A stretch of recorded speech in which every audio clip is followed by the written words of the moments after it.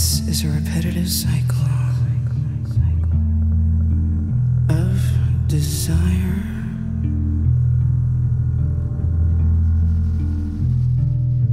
This is a repetitive cycle of desire.